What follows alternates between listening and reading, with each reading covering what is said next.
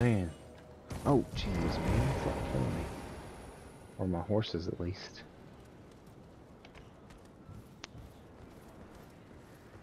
He's doing a lot of gravity uh, magic. Uh, No, no!